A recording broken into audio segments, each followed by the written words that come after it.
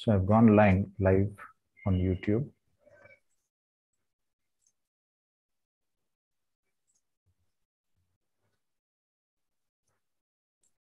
So good evening to all of you and uh, Sister Asha, our uh, anchor for this evening will begin. Yeah, I'll begin, Sister. Yes. Okay. Uh, so once again, a very good evening to all of you. Every year on this day, March 8th, the world together celebrates the International Women's Day. And so, first of all, let me wish you all a happy Women's Day.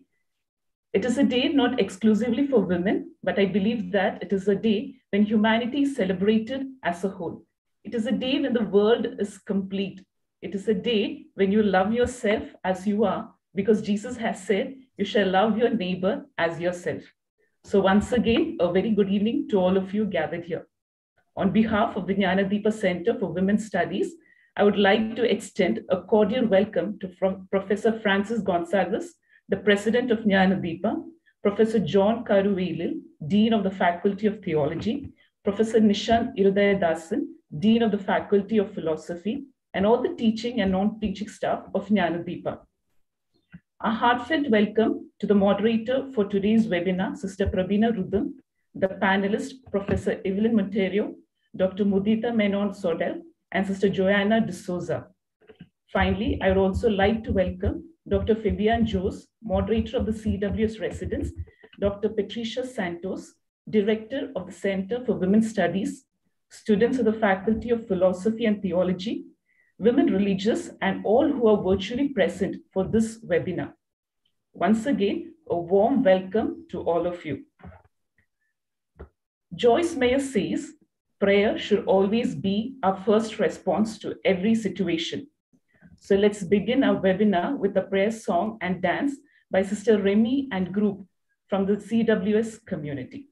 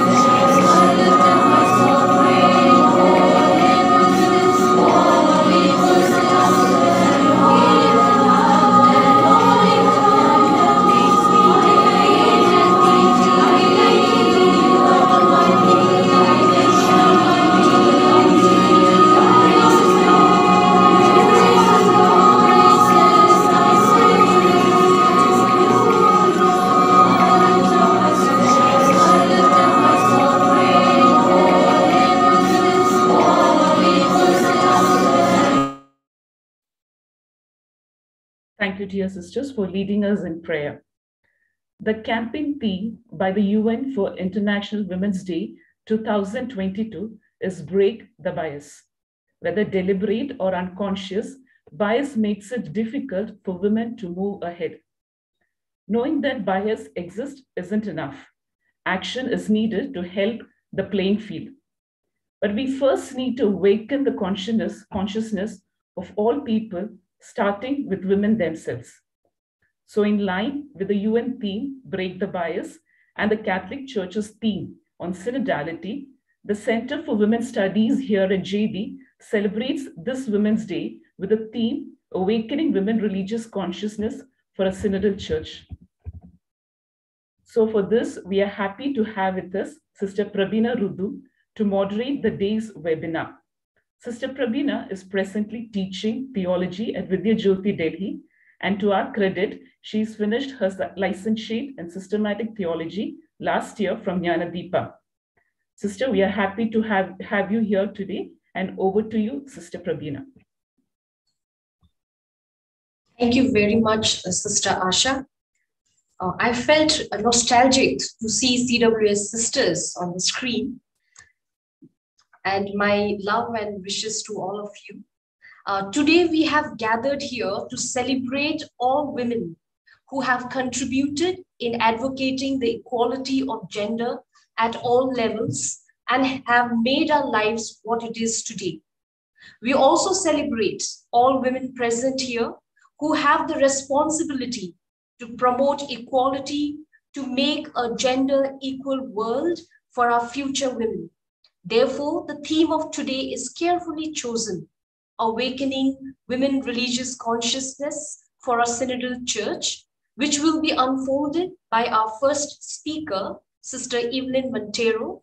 She belongs to the congregation of the Sisters of Cross of Chavanod. She is a professor of systematic theology at several theologates.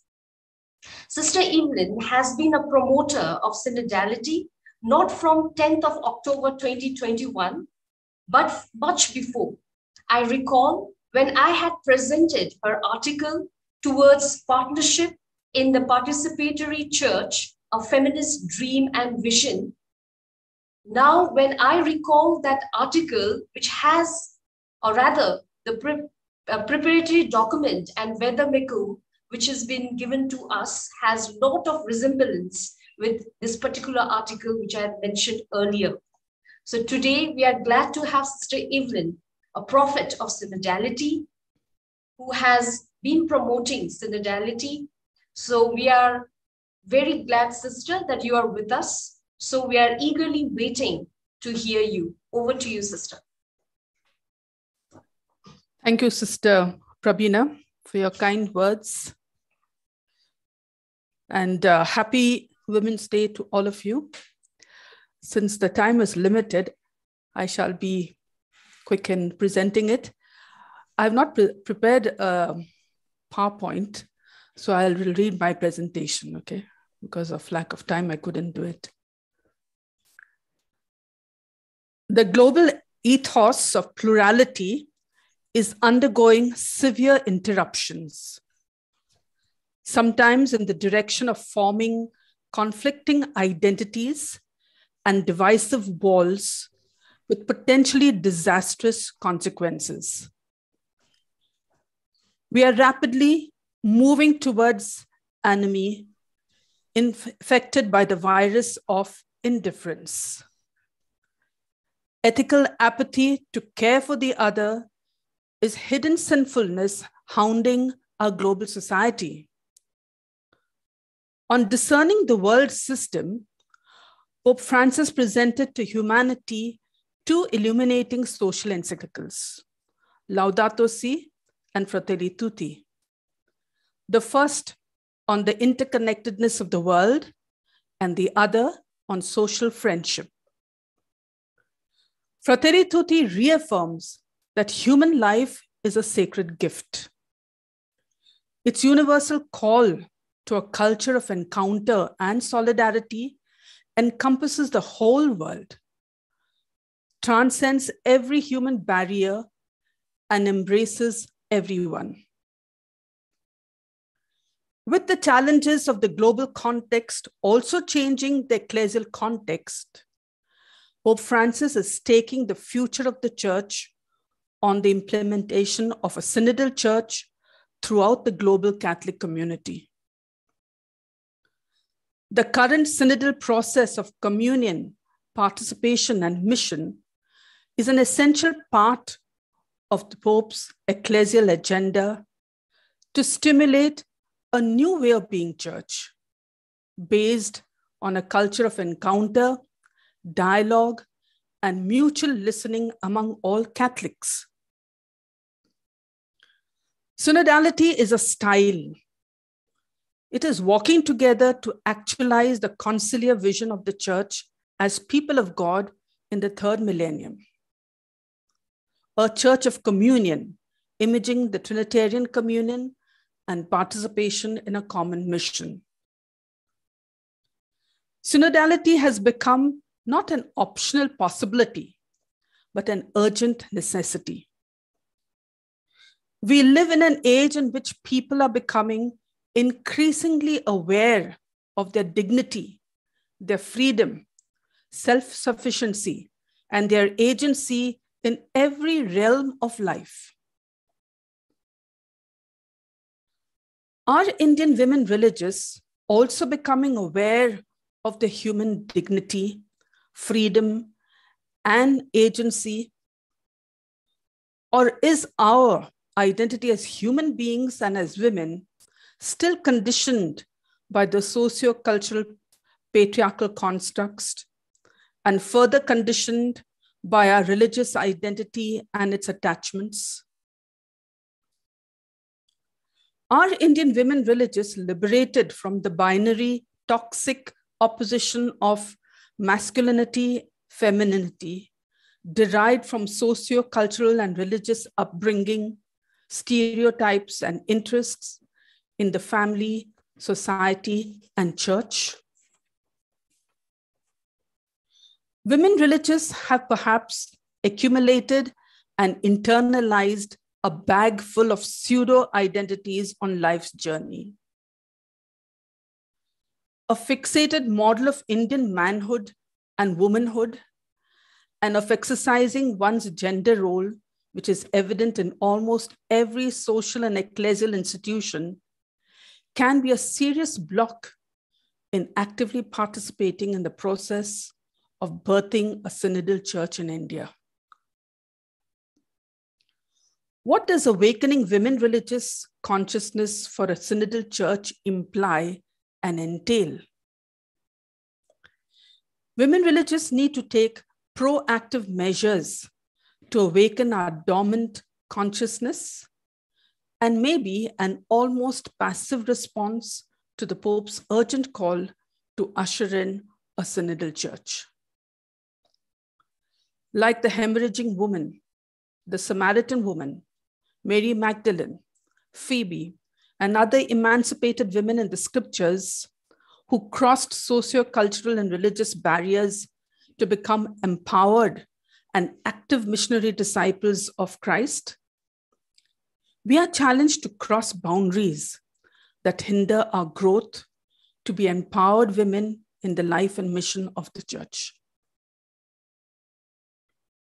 We need to believe in our self worth as human beings, own our feminine dignity, our feminine energy, and strength as women owning our unique feminine dignity and constructively investing our feminine energy and strength to stand tall is fundamental. For our strength is a capacity to transform others. And our weakness is our ignorance about our own power, affirms Sister Maria Nirmalini, the newly elected president of the Conference of Religious Men and Women in India. She further states, we keep blaming the patriarchal system and clergy suppression. Time has come to empower sisters to become assertive and remain dignified while playing creative roles within the church. A synodal church is not about a reversal of gender hierarchical order. It is not about a fight against clergy power and domination. Engaging in such power games to be liberated from clergy imperialism defeats the purpose of a synodal church of communion and participation. Women religious and the clergy need to uphold and respect the dignity, freedom, and equality of one another. Women religious must become dignified, assertive, and confident to disapprove and protest verbal or non-verbal abuse or when treated disrespectfully or unjustly. We must be emboldened to voice our views and opinions on common platforms and speak out against the servitude we may be subjected to in the church. And Pope Francis encourages that.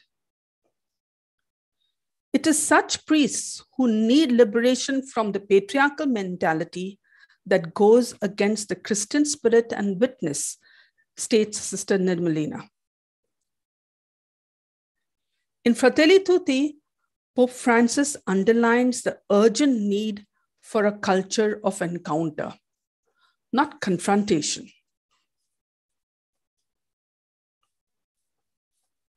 Today, sorry, if the culture of encounter is taken as a covenant, it will create a sense of connectedness in diversity and difference.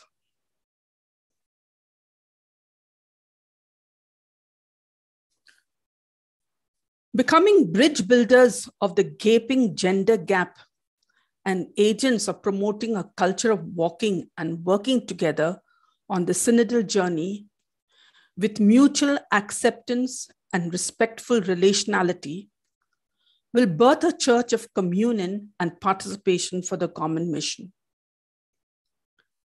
An ethics of fellowship and friendly coexistence, not based on the logic of fear and closed mindedness, but on responsibility, respect, and sincere dialogue will be effective signposts on the roadmap of synodality in the church. There will always be tension between where the Spirit is leading us and the force of long established traditions. Pope Francis is concerned about beginning the right processes and not excessively preoccupied about reaching with a deterministic mindset a set goal. A challenge is being opened now to how the Spirit might be calling us in new times and circumstances. When he announced the Synod on Synodality, it was not just a matter of having another synod as an event.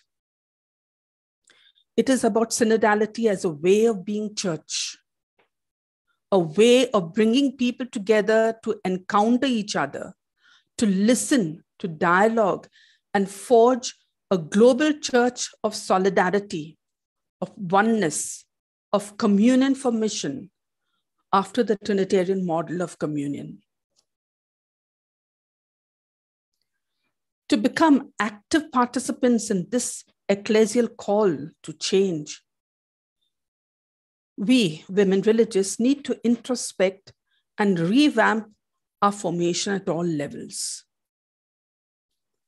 Just to give a few suggestions, we need to update oneself with the new socio-political, economic, and technological trends that are impacting our life and mission.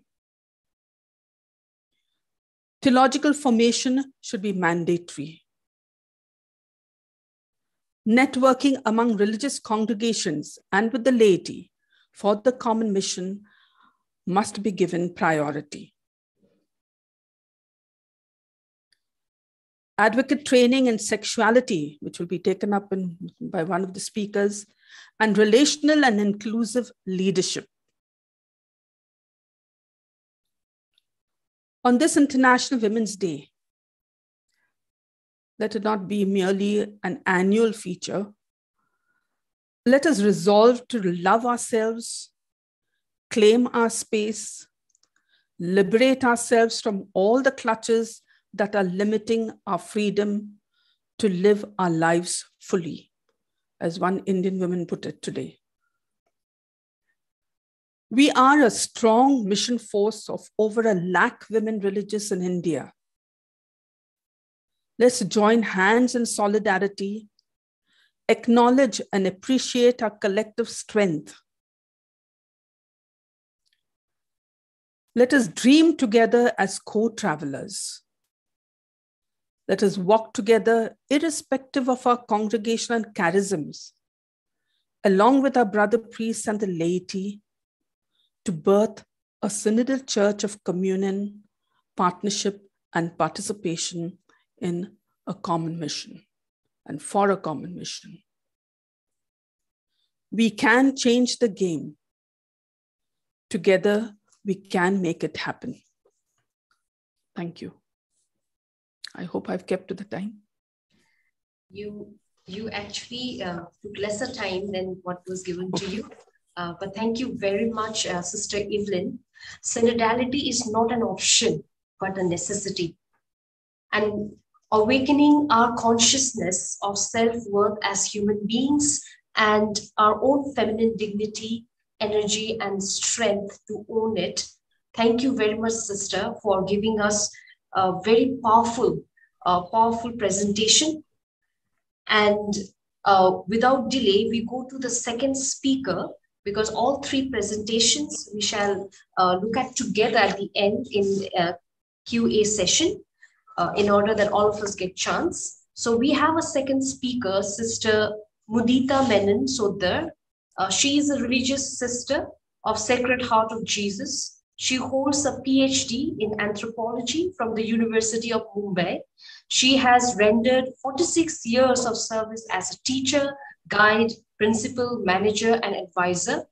Indian culture and festivals, interfaith dialogue, eco spirituality, art from waste, and women's issue are some of her special interest. She is an avid reader and writes scientific papers, articles, and letters to the editor in newspapers and magazines. She is a cancer survivor, the coordinator of Justice, Peace, and Integrity of Creation for her congregation in India for the past 10 years. The, present, uh, the president of Fellowship of Indian Missiologists, uh, India, and on the UCAN editorial board. Presently, she does eco spirituality on a full time base. Today, she is here to present Awakening Women Religious Consciousness through fostering integrity of creation for a synodal church. And Sister Mudita, uh, please take the floor and uh, we are awaiting to hear from you. Thank you.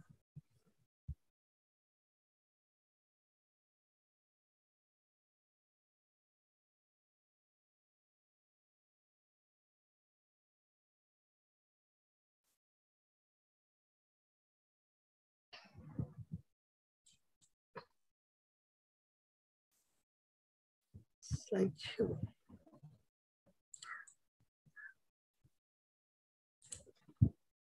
Okay, can you see me? Uh, can you see the slides? Yes, sister. Okay. Uh, good evening, dear cousins. I call you cousins. At the end of my talk, you will know why I call you my dear cousins. My topic for this awakening women religious consciousness through fostering integrity of creation for a synodal church.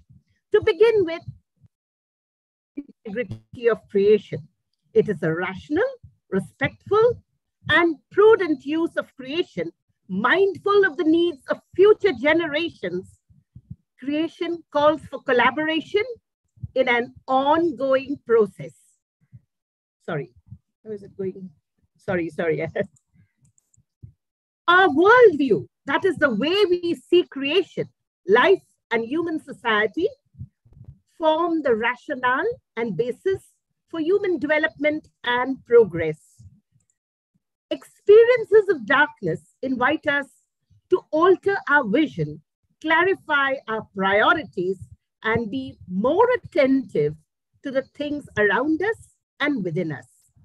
It invites us to embrace inner vulnerability and confronts us with our limitations and a sense of powerlessness. It reveals the depth dimension of life and the mystery of wholeness. Eco spirituality is this mystery of wholeness.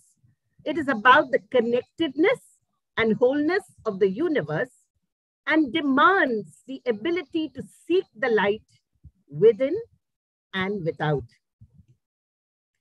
Reflecting on my own times of darkness, especially when I was diagnosed for third stage breast cancer, I was struck by the power of transformation in those moments. Cancer has been my greatest spiritual gift. Knew of knowing the essentials, of discovering things in the light, acceptable, and of becoming more than I could ever imagine myself to be. Could the present pandemic and war in Ukraine be a clarion call, a moment of metanoia or conversion of heart, a Goldilocks moment, as Professor David Christian would say, or an aha moment, as the Americans would profess? When walk together in darkness, they do not only experience transformation, but also an unimaginable solidarity with one another. That is, in this phase of darkness, they discover themselves, come to see the light, and experience peace. Tamaso ma Jyotirgamaya. Eco spirituality is loving all God's creatures and living in the present moment. It may look simple, but it takes years of practice or sadhana and demands discernment, discipline, and decision. Once it becomes a habit, it is a cakewalk. Life is enjoyable, a paradise on earth, or Ram Rajya, as the Indians would say. The earth is a living entity and has consciousness. She is not simply mud and rock, but mother, Dharti Ma, according to the Indian perspective. In the story of earth and of life, we have already experienced three eras of life Paleozoic era, the Mesozoic era, and the Cenozoic era. The universe is now groping its way toward a new geologic era.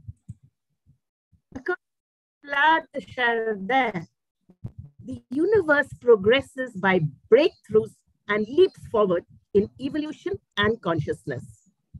In the late 1980s, Thomas Berry named this new kind of consciousness that leads to a new geologic era as the Ecozoic era. We live in a time of profoundly dysfunctional and maladaptive geological force. COVID-19 makes this very evident. Challenge before us humans is to consciously prescribe a future life enhancing new cosmology and a vibrant earth community. And we are genetically endowed for cultural or transgenic solutions as to how to live. Could interrelatedness be the new normal? At present, eco-spirituality seems to be the best solution and perhaps the compelling new uh, normal, the new, the compelling new model. Eco-spirituality is a way of life and has to do with relationships, a triptych of relationships with God, faith, with other human beings, and with creation, justice. It is a way of living our life in relation to our home, the earth, Vasudhaiva Kutumbakam, The world is one family. Earth nourishes those who care for the whole. When the wicked grow in leaps and bounds, God intervenes. Mother Earth, with the help of an asteroid, obliterated the giant dinosaurs.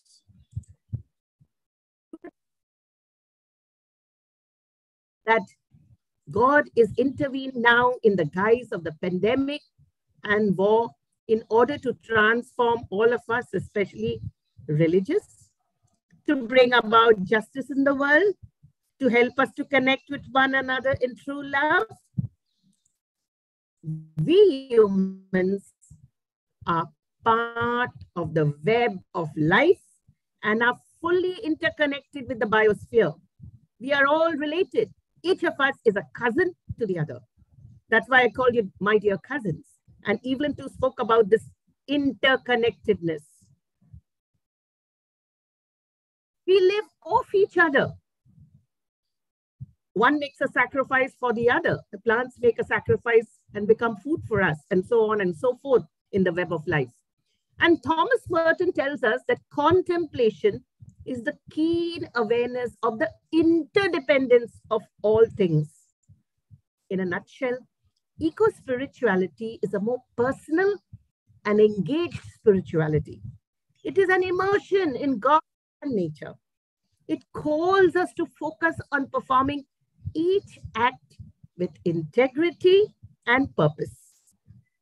Deep experiences change us every day. All we need to do is know, notice, pause, and open wide our six senses to see, hear, smell, taste, and touch the divine in creation and all around us. It invites us to connect with and heighten our awareness with the unceasing flow of God consciousness. Spirituality challenges us to plunge courageously into deep wells of wisdom from science, religion, indigenous peoples, women, mysticism, and art to realize the creative energy of the divine bubbling up and pulsating through every molecule and people on this sacred earth. It unleashes, unleashes vitality, creativity, and playfulness. It is egalitarian and pluralistic, rejoicing in the manyness of beings that interconnect in a rich cosmic community. It is a spirituality needed for an ecological peacemaking and a just world community. Eco spirituality challenges us to Mahaprajna, or great awareness, and Mahakaruna, or great compassion, which are the greatest virtues in nearly all religious traditions. They make life meaningful. Virtues challenge us to co suffer, suffer with, and feel another's sufferings so deeply as to be moved to alleviate it. These virtues tie us to humanity, link us with the divine, and make us responsible to and for one another. It implies and expects action. It is not enough to be compassionate. We must act. So, having uh, understood what is integrity of creation for a synodal church, but what is a synodal church? Evelyn has told us in great detail, so I really don't have to go through this. But anyway, a quick. A synodal church is a church that journeys together as people of God and invites us to learn something of eco spirituality, love and live uh, synodality in order to contribute in the building up of the body of Christ, the church. It demands of the promptings of the spirit, evaluation, and decision making with Christians, Mother Earth, and all God's creatures.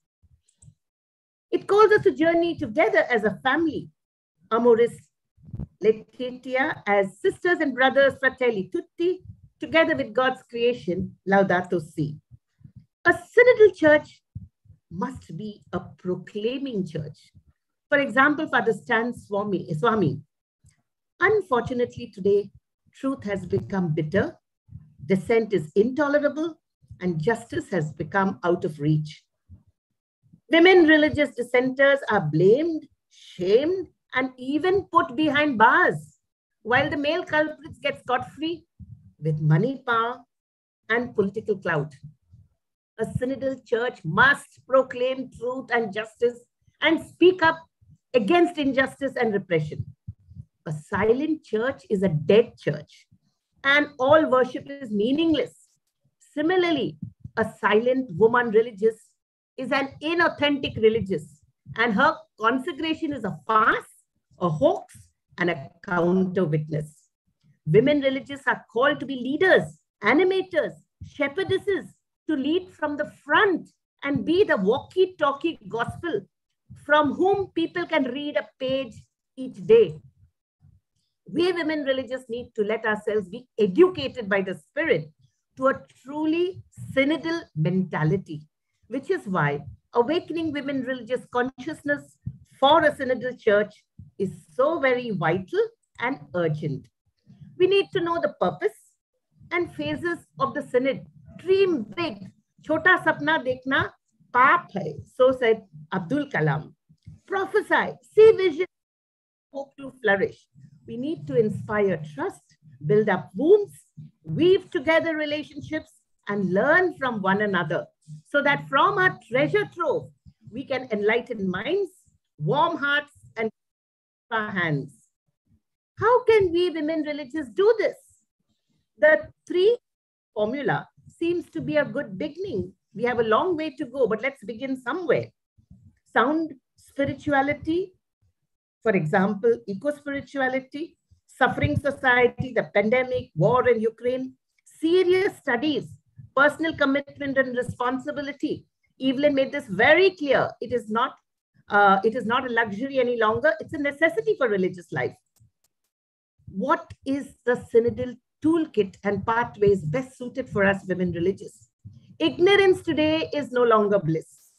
We need to learn from others, feminist voices, sisters in solidarity, Catholic Religious of India, uh, Forum of Religious for Justice and people, and even lay people have so much to teach us. Discernment, discipline, and decision uh, making are vital. We women religious are divided on grounds of position, power, money, influence, etc.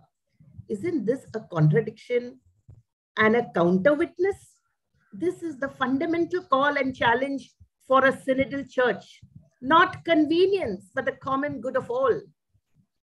I have this own, uh, I have this problem in my own community. Choosing a semi-automatic washing machine instead of a fully automatic one. Our lifestyles have to prove what we are, both at the personal level and the community choices that we make. Experience shows that most decisions are taken on the basis of caste, language, and other power politics. Administration too is done by a few ordained who keep their positions ensured and also for their clan. Corruption, maladministration of properties, abuse of power, etc. is rampant today. Laity and we women religious must participate and not be mere silent spectators or worse still, victims, for example, the Franco Mulakkal case. Think hatke, out of the box, be innovative, creative, and dare to be different. Instead of having just one way of praying, move beyond. See God in all things and all things in God, as St. Ignatius said. Look at other spiritualities, religions, ways of meditating, new cosmology, Ubuntu, etc. Unity. Huh. You have uh, uh, one minute to wind up. Okay, okay, okay. Okay, I can go fast here. Okay, I don't know what I missed. So, truth, uh, what is peace? Uh, sorry, sorry. Let me go to the one. I'll only, oh God, just a minute. I'll jump through some of the things. Okay. A prerequisite for change makers is inner peace. What then is peace? Peace is an inner state of the mind, a stillness of calm and tranquility within, feeling anchored, safe, and protected. True peace is an inward which comes a mastery of self and being focused. experience it, and let your radiance shine forth to create the ripple effect all around. We need to galvanize the for faith that does justice, no matter what the consequences. Uh, example is Father Bismarck Dias from Goa, who was murdered, Sister Valsa John from Jharkhand, who was murdered. New way of being church, the well-being and common good of all God's creatures, deep and respectful listening, participation and co-responsibility of all laity, consecrated and ordained, the form, lifestyle, and the structure of the church must be synodal. Fidelity to the word of God, it enlightens and grounds us in our tradition, forming the synodal path rooted in the concrete life of the people.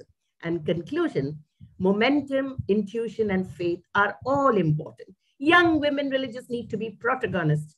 The synodal church needs to be more appreciative of women and provide them spaces for participation and mission of the church. And finally, like Zacchaeus, we need to want to encounter God, have our finger on the heartbeat of the last, least, and lost, be courageous, have parrhesia integrating freedom, truth, and charity in order to keep the church youthful and young.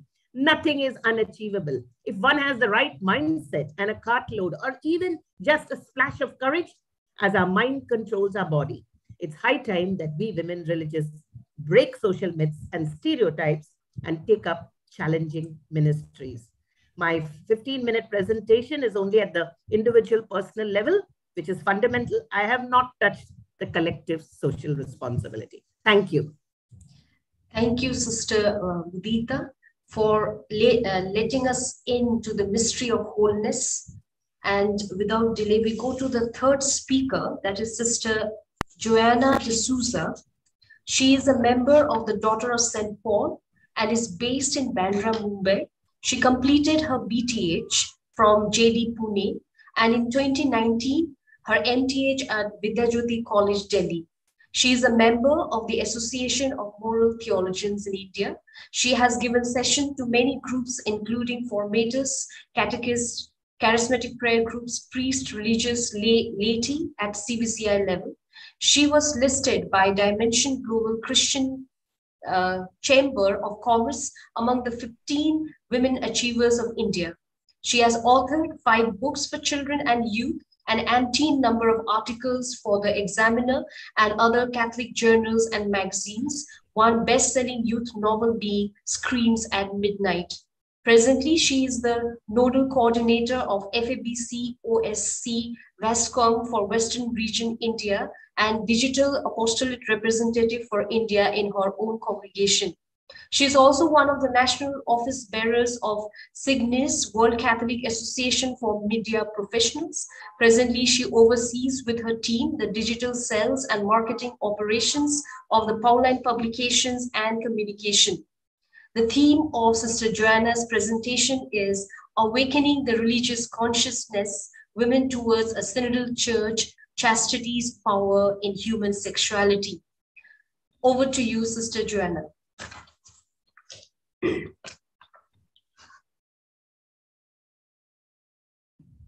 Thank you very much, dear Sister Prabina. I'm happy to meet Prabina again after uh, two or three years when we were in Vidyajyoti together. And uh, thank you for introducing me. And I would request Sister Rekha to start the PowerPoint. Welcome uh, to all of you who are here. Good evening to all of you. Thank you for staying back up to this time to listen to me.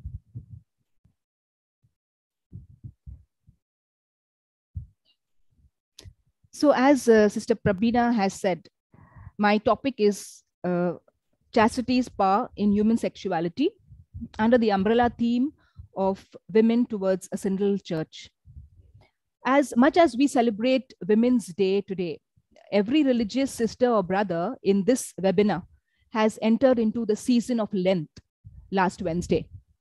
And uh, Joel the prophet challenged you and me once again rend your hearts, not your garments. Rend your hearts.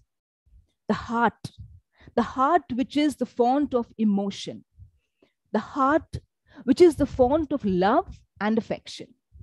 Let me start with a bomb. Most religious women and men are afraid to admit that they have or have had sweet, tender, wholesome relationships with some human person at some time or the other.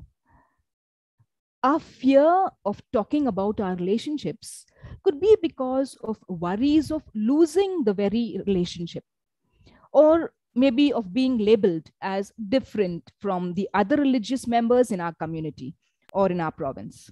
It's quite understandable, keeping in mind the differing cultures we all come from, the way our parents have taught us about ourselves. Our village has formed us. As they say, it takes a village to uh, grow a child. But most often, it could be because of the lack of understanding of the very vow of chastity or celibacy. The very term friend or relationship seems to be by some a bit not to be talked of in some religious communities or circles. It is true that there are deliberate cases of extremes which are a scandal against the vow of chastity. Nevertheless, a rose is a rose is a rose, as the idiom goes. Or a rose by any other name would smell just as sweet. And let, let's say that that is the beauty of chastity and its power in human sexuality. So let's talk about chastity and celibacy. You see the, pic, the picture of two trees here, one dry and one fresh. Look at these. When you think of chastity or celibacy, what picture it relates to according to you? Don't tell me the answer. If according to you, it's chastity or celibacy is the dry, lifeless bark, Lord have mercy on all those who are living with you. You may have judged them tremendously by now, especially if, according to their understanding of celibacy and chastity, they have chosen the fresh and evergreen bark. But it's never too late to allow ourselves to understand chastity or celibacy in the way Jesus did. But before going to Jesus, let's look at the difference between the two. Or is there a difference? Well, celibacy from the Latin caelibatus is the state of voluntary being voluntarily being unmarried, sexually abstinent, or both, usually for religious reasons, like for the sake of the kingdom of God, the reign of God. Chastity includes, however, an apprenticeship in self mastery, which is a training in human freedom. The alternative is clear. Either human beings govern their passions and find peace, or lets him or herself be dominated by them and become unhappy. And chastity is a much broader term. As such, while relatively few people adopt celibacy as a voluntary lifestyle, all human persons seek chastity in their quest for happiness in a way. All human persons, I say, in a way, according to natural law. For Christians, because chastity is a mandatory principle according to the sixth commandment, and celibacy is a voluntary one, it helps us to appreciate this virtue in its context. Experience and media tell us that the unchaste person very often invites chaos and suffering upon themselves and others, and also invites a misuse of power in relationships, as we have seen in the media these days, as well as imperiling the confidence of the community of faith. According to the Vatican document, Truth and Meaning of Human Sexuality, which was published in 1995, chastity means the successful integration of sexuality within the person and thus the inner unity of the person in his or her bodily and spiritual being, which could, according to one's vocational status, either mean to have no sexual relationship or not have sexual relations outside marriage. And it is the virtue that directs our human sexuality toward its proper purpose. And the catechism would say sexuality in which the person's belonging to the bodily and biological world is expressed becomes personal and truly human only when it is integrated into the relationship of one person to another in the complete and lifelong mutual gift of a man and a woman. And as religious, we have been instructed right from our novitiate days that in order to call oneself virtuous, there is a need for moderation in everything. Even before joining the religious life, I'm sure our parents instructed us thus. Chastity is also regarded as fundamental to the practice of Catholic life in general because it involves self mastery. By attaining mastery over one's passions, reason, will, and desire, one can harmoniously work together with others. You know that. To do what is good, to do the mission. And my dear and my dear beloved in Christ, that is why chastity is an important aspect to dwell upon today for an authentic journey in synodality, which actually means walking together in love. In a universal, sacrificial, that is the agapic love, and in a filial love. For those who don't know yet, the other two kinds of love, as you can see on the PowerPoint, are eros, eros, you would say in English, or heros in Greek, in Greek, and storge, that is the familial love. So let's look at Jesus, the chaste person. Jesus was fully human. Jesus was fully human and fully divine. Hypostatic union, we know this from our tradition, Council of Ephesus and then Council of Chalcedon. Reflecting on chastity also concerns reflecting on the body of Jesus. In his article, The Body as a Sign, Simone reflects on the human body of Jesus. Jesus's body was a place of action, he says. We see in the Gospels that in his body, Jesus healed, fed, forgave, called, and taught. But most of all, through Jesus's body, humanity felt God's love. Yes. Remember the friendships Jesus shared with Lazarus, with Martha, and Mary. Jesus bared his heart out to these three. And he had his apostles always with him. Then, what about the women who came in contact with Jesus? Well, in Mark 15 40 to 41, we see that the women provided for Jesus and the apostles out of their resources. Luke 8 1 to 3 also testifies this. Mary, the mother of Jesus, Mary Magdalene, Joanna, Susanna, Mary, mother of James the Younger, and Salome. They followed him and stayed with him.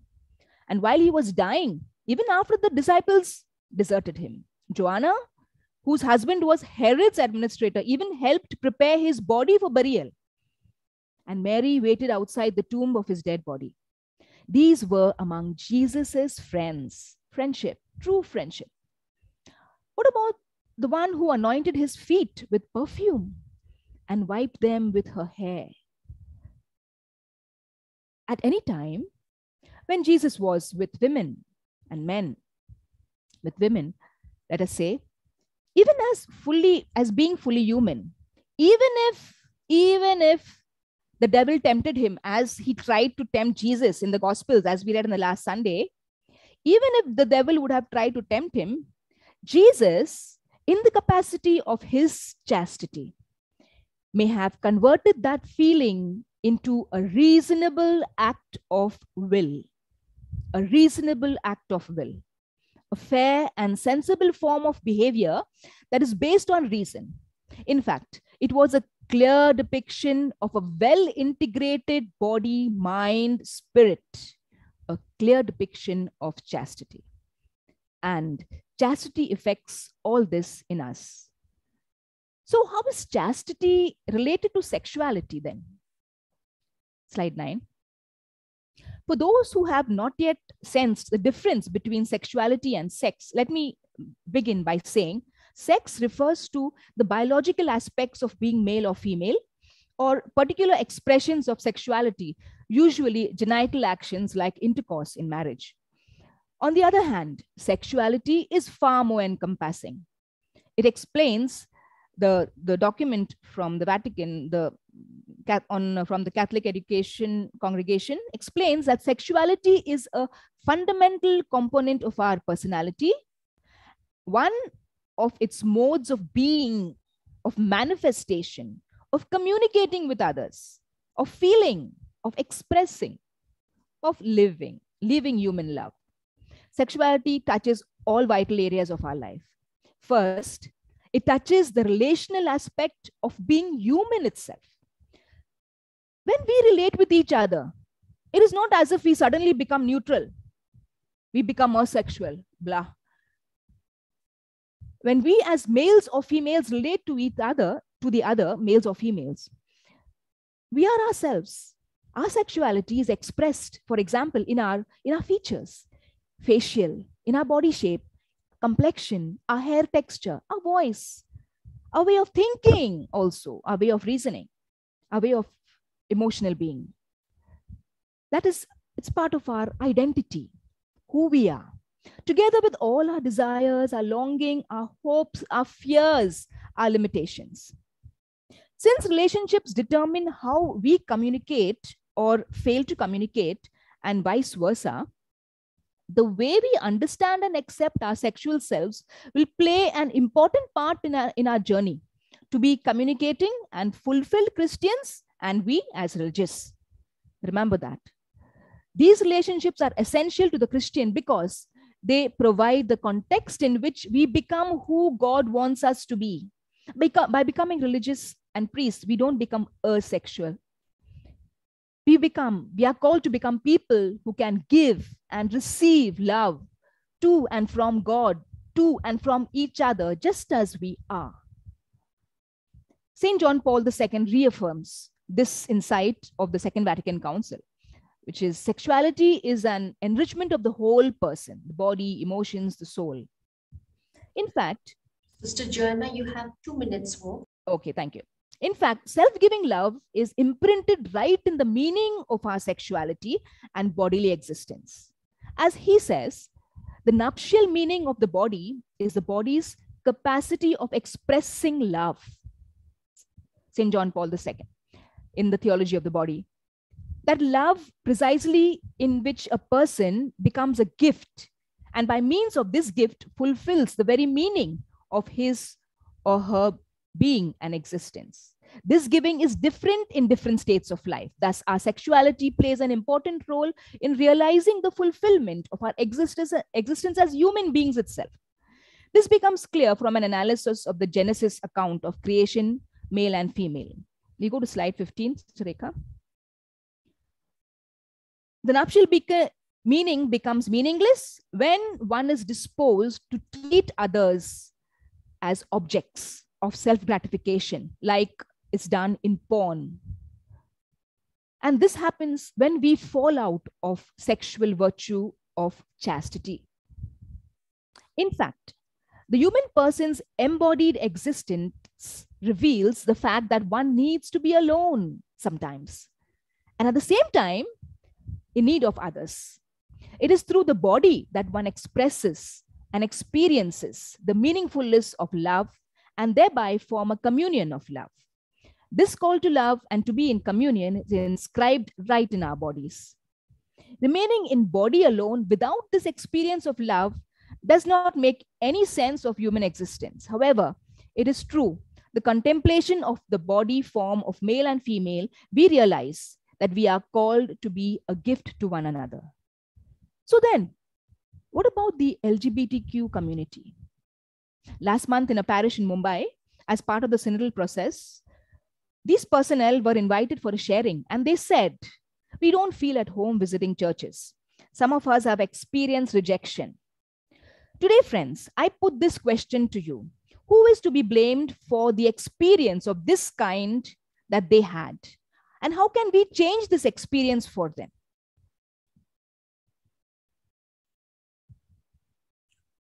Pope Benedict and Pope Francis.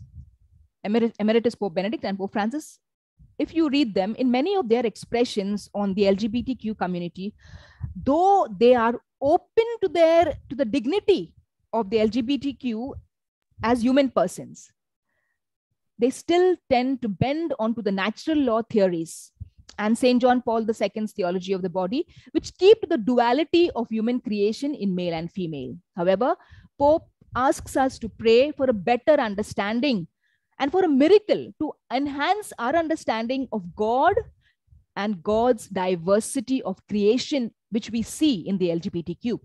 In fact, he said in 2013, Who am I to judge? Since I have lack of time, I'll just rush up with our closing paragraph. In Pope Francis' advice to us, uh, that's slide 25, Sister Rekha. Let's not be too harsh on our community members on ourselves. For Pope Francis said in a recent international conference on priesthood that these abuses of conscience against chastity, against love, they emerge from deep deviations of the human personality, which are to be identified and unmasked.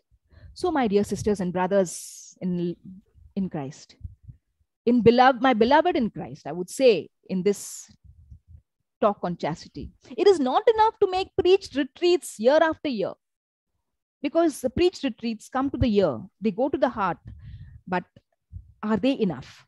Persons must decide to make that painful, directed retreat deliberately in order to find the root causes of the problem of their disordered and distorted sense appetite because it shows in the other aspects of our community life unconsciously our disordered and distorted sense of appetite is related to how we are capacitated or able to love others. The human person needs to be freed from this disordered sense of appetite, free to love. And within a community or a society, the person can recognize how he or she is able to love. Love is the touchstone to judge your own disordered sense appetites. Because, as Pope Francis says, love alone is chaste. To conclude, the synodal journey calls us women religious, among others, to renew our attitudes in order to live out God's call to us in our present day context with all these sexual minorities around. They also form part of the excluded. The Synod calls for maximum inclusion and participation, and these are words from the document, reaching out to involve with love, especially those persons who we spoke about in line with the directives from Pope Francis, we focus on the two interrelated goals of the process of listening. To listen to God, so that with God we may listen to the cries of the people, and to listen to the people until we are in harmony with the will of God, which calls us. God's will for us is love. This would mean listening to the inner voice. This will help in discernment and challenge us to make a special effort to listen also to the so called unimportant persons in our community, quote unquote, and those who force us to consider new points of view. This could in turn change our way, Prabina, and all of us, of thinking and acting, for that is what synodality is all about. Thank you for listening to me. Thank you, Sister Joanna uh, for giving us that holistic understanding of chastity and uh, sexuality. Uh, I thank all three panelists, Sister Evelyn, who left us with very deep question. Are we Indian religious women still under the toxic, toxic web of gender binary created by society? She asked us to update ourselves with new political and technological development, reviving religious formation, networking with laity, to love ourselves, claim our space, and get into the mutual, mutual respect of all the gender to take part in birthing of the synodal church. Sister Mudita, who took it forward by presenting us the ecclesia, which does not have the boundary. She took us the mystery of wholeness, where all creation is one family.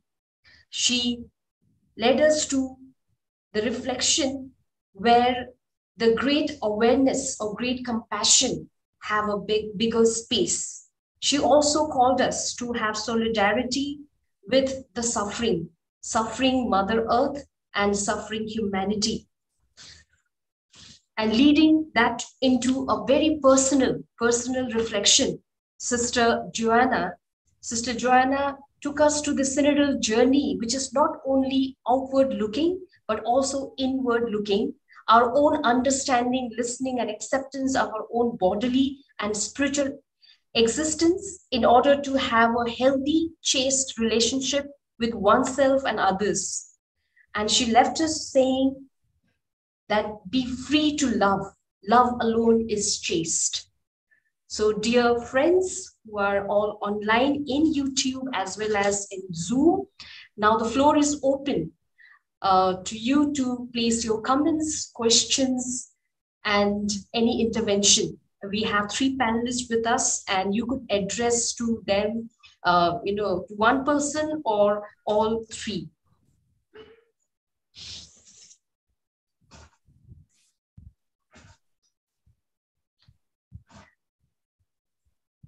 Uh, I cannot see the uh, raised hand, so you could actually unmute and uh, unmute and you know say I would like to say, or you could post it uh, in the chat box, and I shall read those questions or comments.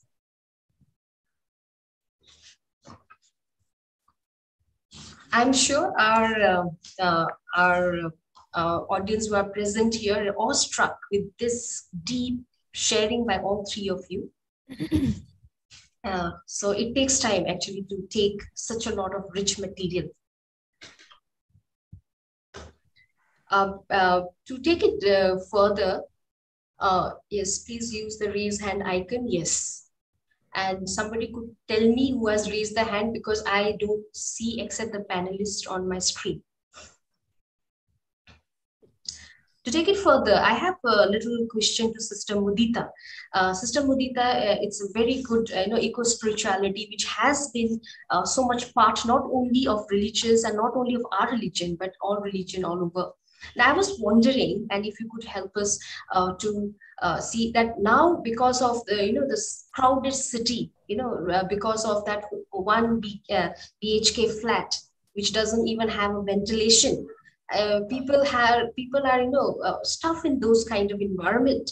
So at those kind of environment uh, how could we develop this eco spirituality when you don't even see a blue sky anymore you know? So uh, how could uh, we actually help such we are blessed you know religious are blessed to have a beautiful campus but the people who will who could benefit with your answer maybe how could we help such people to have this spirituality deepen this eco spirituality uh, thank you. Uh, thank you, Prabina. That's a very good question that you asked me.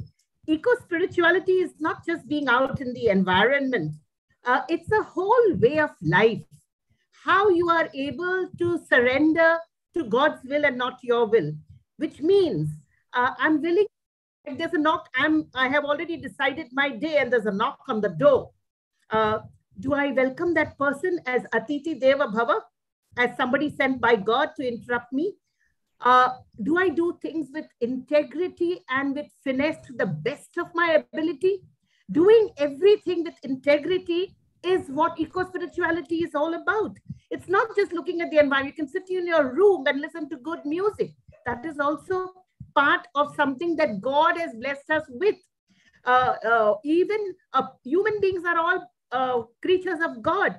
So there are there are so many things. Even sitting with your laptop is uh, what God has blessed us with a brain to invent uh, the laptop. So it's an attitude to life. How do I celebrate life in the midst of pain, in the midst of suffering, in the midst of joy, in the midst of whatever? And how do I communicate hope in others? Because God never meant us to be sad. God meant us to be a celebrating people. We are an hallelujah people and we need to celebrate life all through 24 7. But how do I do that when I get cancer? I said to myself, everybody else was concerned about me except myself. I said, my ticket, my visa to heaven has come. All that I need is send me my ticket, dear Lord. I'm ready for heaven. And then he didn't send me the ticket. I'm still alive. So I said, okay, my uh, my room in heaven interior decoration is going on. So fine, Lord, keep on decorating my interior decoration of my room in heaven because I feel sure, and each of us have that. Uh, we claim our rightful place in heaven because we are baptized Christians. God has blessed us. We are all called to be saints, and if we are not saints, and then we are not doing God's will. All of us are called to be saints and to help one another to be saints. That's the essence of eco spirituality, which means I must be kind to the plants, to the birds, to the animals, to creatures, everybody. And everything that I do, I must do it. Work is worship. If I do it as I'm doing this for my God, of course, if I have a lecture, if I have a, now just before the webinar started, some uh, Jesuit from uh, called me. I said, excuse, sorry, sorry, I can't talk to you just now because I have to be in time for the webinar. I'll talk to you later. So it's the little things of life that eco spirituality is all about. It's a way of living, it's a lifestyle. What are the choices I make? Uh, sister, one more question is there for you, Sister Mudita. Yes. That yes. is just to explain in very short, maybe brief, uh, that uh, you called us cousins. And Jude Fernandez is asking, explain how we are cousins. So if you could, uh, you know, in very, uh, uh, what was it, precisely or concisely could share with us after the Wonderful. have okay, okay, wonderful. I'm so happy you asked that. You know, uh, earlier I never called uh, uh, anybody who I've met for the first time, I'll say dear. And where anyone whom I, have, I know or I have met, I call them my dear. And I always end up with lovingly. Now, why do I do this? Because science has proved that we are all cousins. We are related in different, different ways with birds, animals, and other human beings. So there's a scientific uh, um, uh, explanation now uh, how all of us are connected, uh, the web of life. Uh, and in, in many, many ways, uh, we are connected. You will see how you can do a DNA and you will see from where you have originated. And imagine the mystery and the beauty of uh, this body that we are, the person that we are. Each one of us is unique. Our fingerprints tell us that, and the eyeballs of our eyes tell us that we are totally different from everybody else. And yet we are connected we are connected in very different ways. I need a whole hour to explain to you scientifically how we are connected and how we are cousins of one another. The birds, the animals, the trees, the plant, everything around us. That's why I call everybody. I, I can prove it to you, but I need a whole hour I don't have it just now. Uh, Jude Fernandez, if you are listening to us, you can actually connect with Sister Mudita for even to get more insights. Uh, we have uh, a question, means rather a statement, uh, someone uh, asking about LGBT to be included at all levels. And Sister Joanna also has got a direct, I think, message about LGBT. If she could enlighten us uh, in, you know, in just yeah, thank you, Prabina. Um, uh, what question came to me directly was, can you say something more about LGBT? Well, I like to say this to explain. Today, uh, there is a difference between sex and gender. No, it's understood differently. A sex, as I already explained, is like male and female. No, but when we say gender identity, it is one's inner sense, one's inner sense of oneself as male or female or other or neither uh, or a mixed. So the person himself, herself, or other self understands that she, he, or, or other uh, feels that way sexually. So if you want to know someone's gender identity, you need to ask. Nowadays, even in the forms which we fill, we get male, female, or other. Then there is something called gender expression. And gender expression is the way one expresses one expresses one's gender identity outwardly, uh, depending on how they feel, depending on how they are brought up also. In some cultures, I think it's, uh, if I'm not mistaken, some uh, very uh, primal Mexican cultures, they don't even uh, kind of tell the child if he's a girl or a boy till the child understands uh, when they grow up what they feel. That is the openness. So, this gender expression is the way one expresses one's gender outwardly in external and socially constructed signals like in a clothing, the haircut, their voices just comes. I mean, they cannot choose that. In the mannerisms, the way the, the either femme or uh, you know more tomboyish or whatever, and uh, the term gender it refers to the socially constructed roles like what we would uh, now uh, society has constructed uh, because also of uh, since ages we have been also as catholics we have been used to the uh, duality of male and female which comes to us from genesis and also it's propounded in uh, theology of the body by saint john paul ii so gender refers to socially constructed roles behaviors activities and attributes that a given society considers appropriate for men and women, like a stereotype, like women uh, should be housewives and they should uh, kitchen, do the kitchen work, which today we see differently. And uh, gender includes matters of sex, gender identity, and gender expression. While male and female are terms related to sex only, masculine and feminine refer to gender. You can see that is a little bit of a dif difference. So uh, there is something called transgender, and i mentioned it in my powerpoint also that is a term people it's for people whose uh, gender identity or expression or behavior is different from those typically associated with their assigned sex at birth they may be born as uh, with the uh, male uh, sexual organs or the female sexual uh, genital organs but uh, they feel differently so a narrower definition indicates a person whose gender identity is different from their gender assigned as birth, as I said.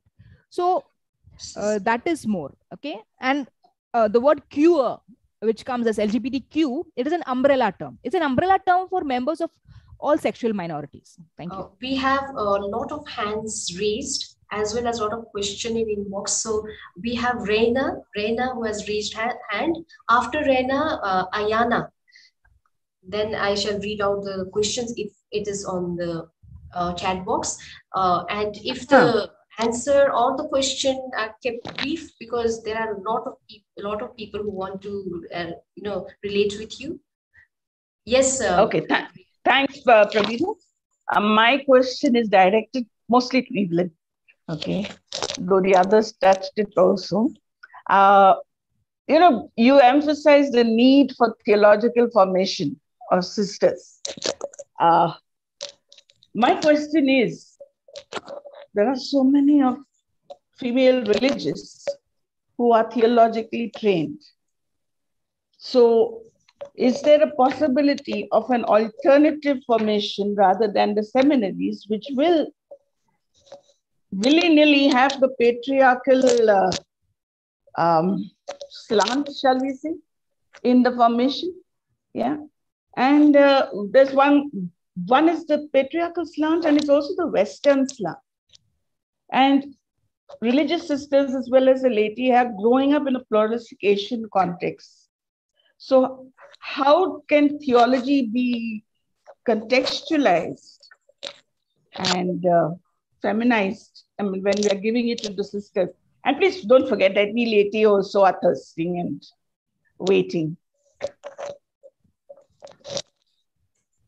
Thanks, Reina, for that uh, very pertinent question that you've asked. True, what you say is if you do um, theology in a setup like that, in a seminary or whatever, in a theologate run by men, there may be a tendency for the patriarchal slant, etc. But from my own experience, I've done my theology at Vidya Jyoti and then again at uh, the master's at uh, Jnana Deepa. And then my doctorate, I did it in Paris. And it was mixed, you know, it was uh, with both men and women. And I found that that was very helpful to me personally because I was brought up in a family that is, uh, you know, the typical traditional type where we're, and I had no brothers, only girls in the family. And our upbringing is also that way, you know, the catechism classes in school and etc. by the nuns. But this was an opening for me. Secondly, I've also learned, uh, I've also exposed to critical thinking. You know, when different people ask questions from different viewpoints, it helps. And it urges me, it also motivates me to think and question. So, in that way, and I would say that it would be helpful it would be, you know, empowering, as it were, to do theology in a mixed institution, you know, rather than just exclusively for women. I've seen the setup also in, in institutions that are only for women. You can see the difference. So it does make a difference. So that is why I wouldn't uh, go in for a kind of an exclusivist studying of uh, theology. With regard to Western, uh, maybe because uh, it happens, it does happen, what you say is true, is because of the syllabus and we have got to abide by certain things, etc. But as far as possible, again, from my own experience, we do try to impart theology from the Indian perspective or from the Asian perspective as far as possible, as far as possible. But because of the teachings, we have to abide by the magisterial teachings, etc. Also, sometimes it gets it give it's uh, it takes on that Western slant. It's up to us, those who are teaching, to you know contextualize it and make it uh, useful or pertinent, relevant for us, for our culture, for our contexts. Thank I you. hope I've I hope I've responded to you, Reena. No, you've forgotten that I'm a, said that laity was what thirsting. Yes, yes, yes, sure, sure. You are definitely included. Thank you very much, Sister Evelyn and Rena, for your uh, question. We have Ayana, and after Ayana, we have lots of question in chat box, but we are short of time. What we could do, I can propose to Sister Patricia that that we will collect this question, we'll note down your names, we'll try to connect with our speakers and get back to you if that is okay, because we Uh, are time. Prabina, it would be nice if you just read out the questions. Okay. Maybe we not, may not be able to answer all the questions, but if you read, it will be good for everyone to hear because I don't think everyone can see the questions. Okay, okay. So I shall uh, first we will uh, Go to Ayana, yeah. Yes.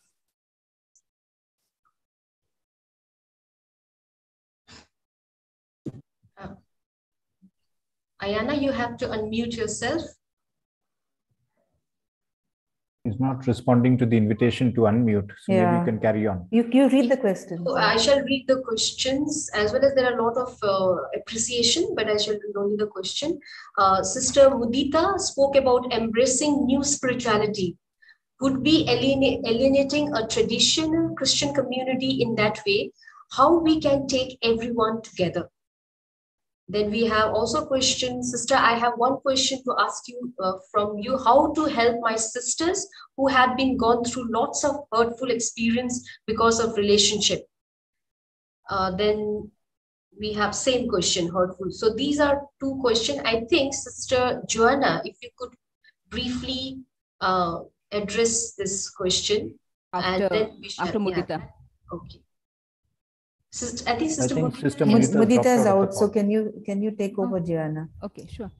Uh, yes, I received this uh, question even personally, so I uh, directed her to give it to the moderator because it's the best. Uh, dear sister, uh, I uh, would would suggest that not only the sister, even there are if there are uh, brothers who are go, have gone through hurtful experiences in their past, either in their childhood or uh, during the time of their religious life.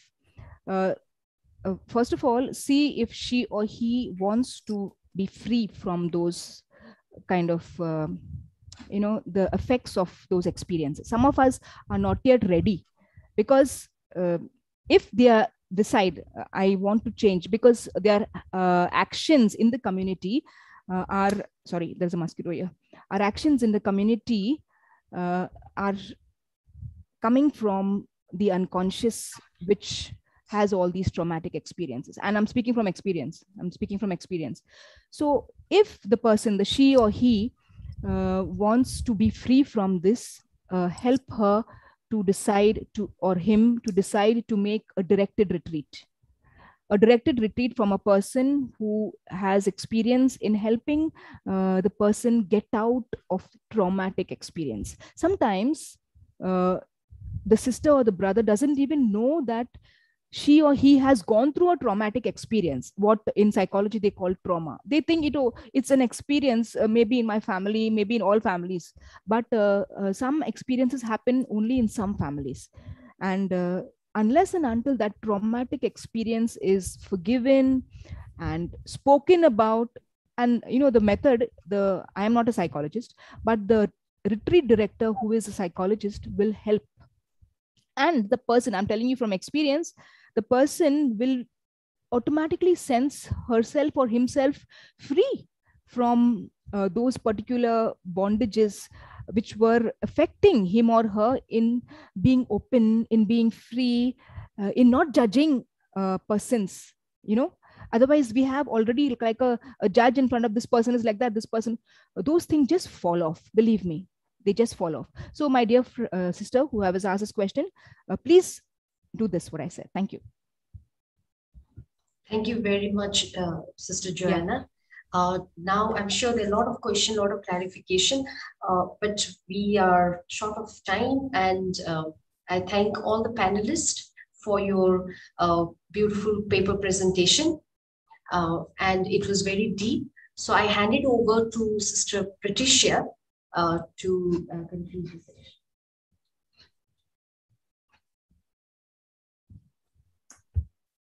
Yeah. So thank you, dear sisters. Uh, with this new awakening in our hearts and with the determination to break the bias, let's walk the path of synodality. So I thank you, dear sisters, once again uh, for your scholarly presentation and fruitful discussion, and for all the critical questions by the participants, both in Zoom and via the YouTube. I now call upon Dr. Patricia Santos, the Director of the Center of Women's Studies and animator of the Women's Students Forum, for her concluding remarks. Over to you, Sister Patricia. Thank you, Sister Asha. As we come to the end of this academic year, I thank God for being with us through this year in spite of all the ups and downs. Because of the pandemic restrictions, the Center for Women's Studies could not organize many in person activities as we had planned. Nevertheless, Thanks to the resident staff and students of CWS, we have been able to organize two webinars this year. In particular, I would like to thank Sister Fabian Jose, the moderator of the CWS residents, and the co-members of the Women Students Forum, Sisters Regina Pushparani, Piari Minj, Mary Preeti Anthony, Sonia Joseph, and Anna Mary for their collaboration and help in organizing these activities. I thank very specially Sister Asha Jose for being the anchor for today's program and for ensuring that everything went so smoothly. Since she will be giving the official vote of thanks, um, I'm taking this opportunity to thank her. I'm very happy that for this webinar, we could have those who have been part of Jnana Deepa at some time and in some way. Professor Evelyn Monteiro has taught for many years at Jnana Deepa and is still visiting faculty here. Dr. Mudita, Sister Joanna, and Sister Prabina have been students here. And so I extend my sincere gratitude to each one of you for awakening our consciousness on diverse aspects. I'm sure there would have been many more questions, but since we have to finish within this time limit, um, I hope that um, others will have access to you and you know enter into a dialogue and conversations even after the webinar. May this consciousness enable us to journey together as partners to create a gender just church and society. I also want to bring to your awareness that Jnana Deepa has a one year diploma program in theology for women and women religious, besides the regular bachelor, licentiate, and doctoral programs. We will be happy to have more enrollments for this program if especially some are interested in you know, having only women. I hope that we will also be able to meet face to face next year for many more programs. Thank you and God bless you all. Uh, thank you, Sister Patricia, for your words. Uh, friends, we will now have a short concluding prayer, thanking the Lord for this new awareness. Sister Anna Mary from the CWS community will lead us in prayer. Over to you, Sister Anna Mary.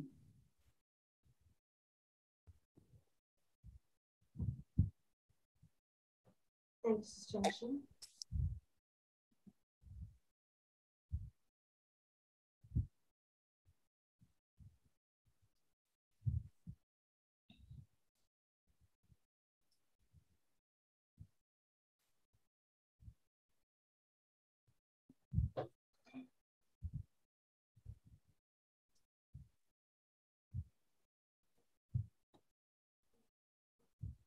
Good evening to all.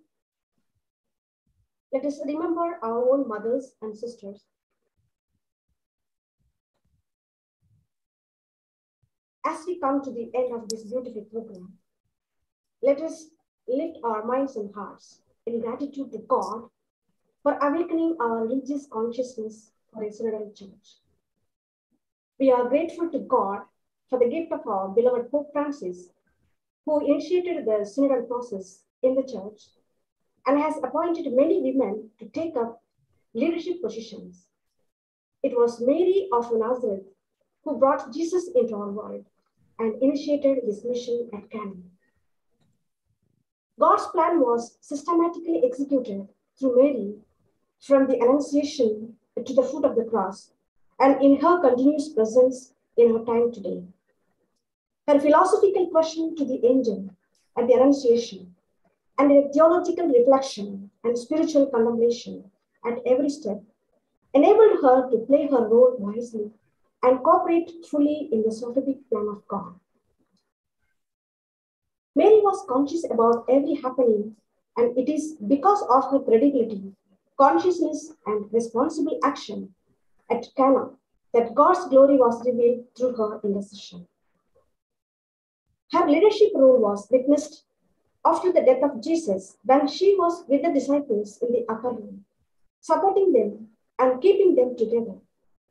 Let us imbibe the courage and consciousness of Mary for our lives and promote it among our own sisters in the communities and in our areas of ministry.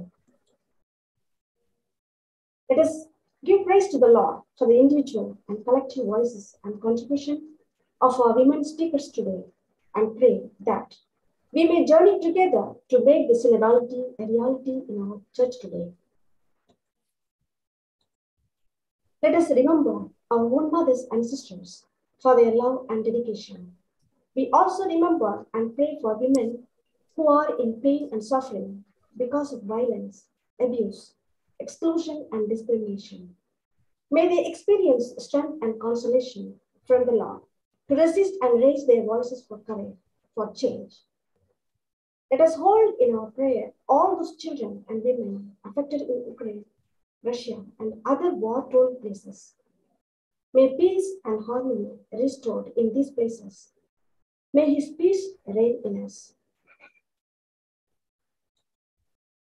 Let us conclude our prayer with Hail Mary. Hail Mary, full of grace, the Lord is with you. Blessed are you among women, and blessed is the fruit of your womb, Jesus. Holy Mary, Mother of God, pray, pray for us. us sinners, now and at the hour of our death. Amen. Mary, seat of wisdom, Pray for us. Mary, Queen of Peace. Pray for us.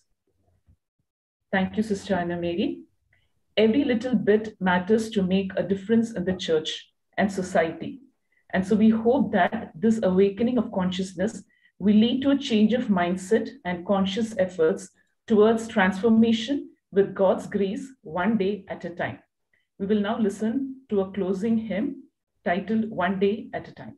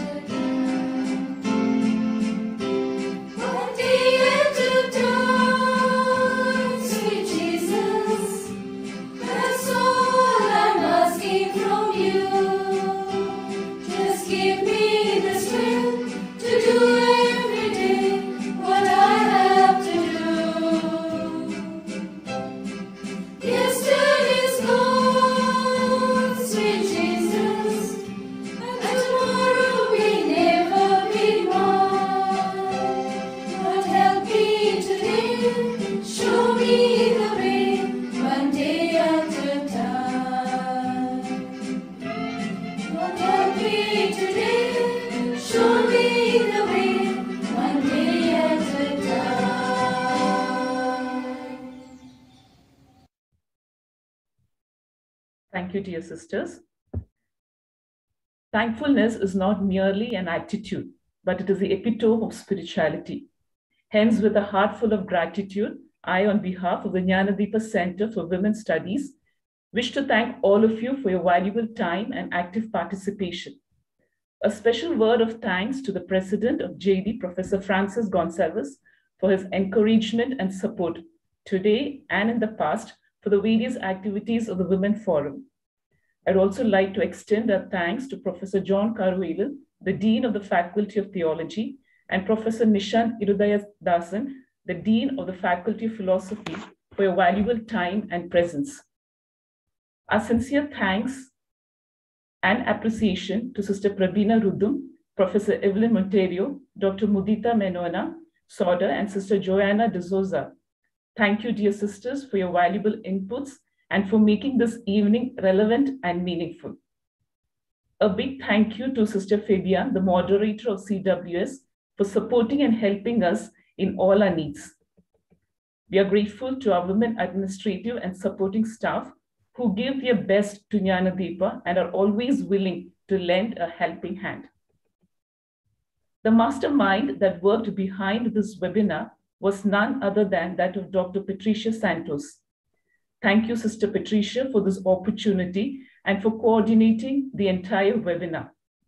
A sincere thanks to Dr. Dinesh for the technical support before and during the webinar, and to the sisters of the CW, CWS community for your hard work and contribution for the success of this webinar. And finally, a heartfelt thanks to all those who have participated in this webinar. We value your presence, your time, and your questions and appreciation. Once again, thank you and good night to all. Thank you, dear friends.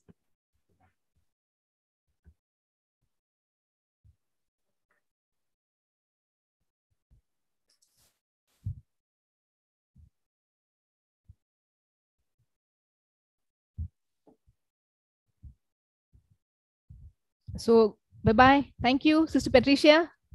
Thank, thank you, Joanna. Yeah, hope to see you again everyone. sometime. Yes, yes. Thank you. Thank you very much. Pune. Yeah. Yeah. Welcome to Pune. Prabina. Ah, I'd love to come back.